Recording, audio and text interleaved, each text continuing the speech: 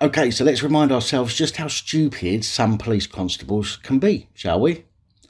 Louise Fielden, a now fired Met Police constable, has a, a European arrest warrant issued in her name after failing to attend Basildon Magistrates Court on, in August 2018 to face charges of assault occasioning actual bodily harm.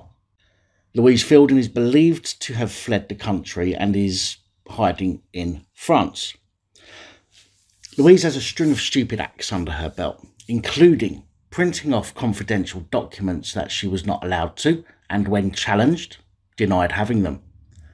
Verbally abusing officers in a police meeting, even after being reminded she was subject to lawful orders.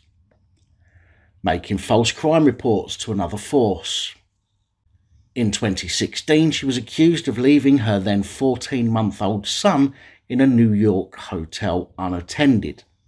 The child was initially taken into foster care but was later reunited with her.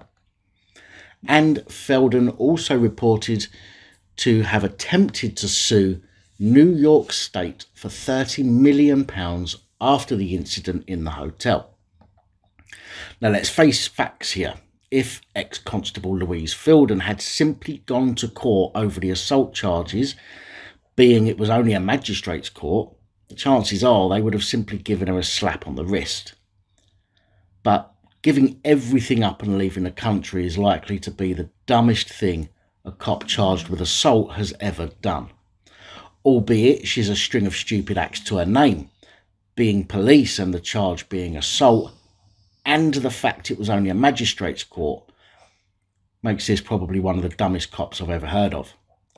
Now, the reason this is in the news now is because of a misconduct hearing that was held on the 9th of December in her absence. Again, this likely wouldn't have happened had she simply gone to court and done the normal police thing, which is to lie about the incident and have the magistrate swallow her bullshit like a chocolate covered penis.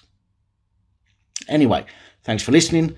I was always told I had the perfect face for radio, but I hope the lack of imagery isn't putting you off.